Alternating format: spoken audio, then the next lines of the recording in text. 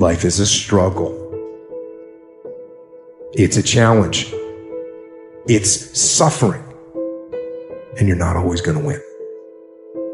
You're going to go through disappointment. You're going to go through setbacks. You're going to go through failure. You're going to go through things in your life not working out, failed dreams. And when you're in a storm, it's hard to see sunshine. There's going to be detours, roadblocks, challenges, wrecks, unexpected things that happen in your life.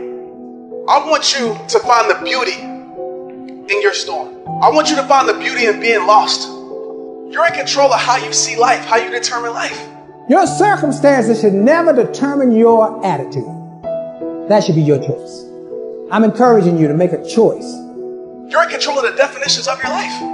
Can't nobody control that but you. So right now in your storm and your confusion and you being lost and you not knowing what's next, I want you to think right now what that loss or setback in your life is going to build in your life.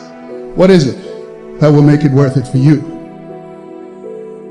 To face the rejections, to brainstorm and not be intimidated and say, I can do this. What is it that will make it worth it for you to raise the bar on yourself and say, I got some more stuff in me. What is it that will make it worth it for you to make no your vitamin that you become empowered by it? What is it that will make it for you when you want to give up and things are working against you? What is it that will help you get back up again? When everything's relaxed and peaceful.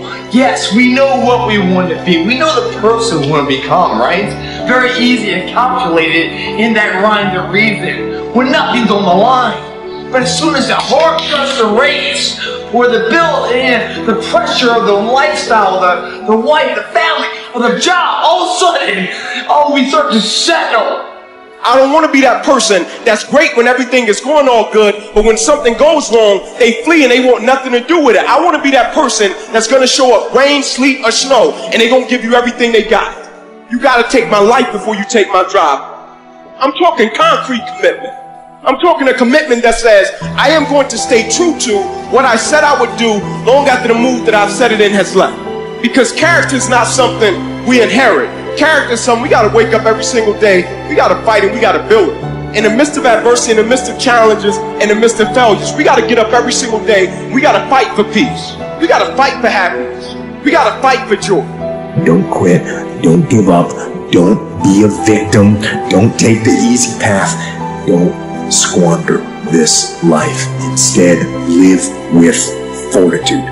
There's times when you think, is there anything that can justify as to why I'm always going through something hard? Sometimes nothing ever makes sense that you're going through. I'm going through hurt. I'm going through pain. There's death in my family. There's sickness everywhere. But I tell you what, you can't throw in the towel.